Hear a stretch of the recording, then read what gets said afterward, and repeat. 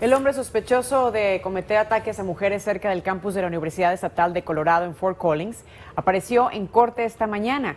Se trata de José Ángel Alderete Gómez, de 27 años de edad. Alderete Gómez fue detenido el pasado domingo 21 de noviembre y se le vincula con ocho casos más de agresión a mujeres de septiembre a noviembre, incluyendo uno de violencia doméstica. El hombre tiene fijada una fianza de 450 mil dólares.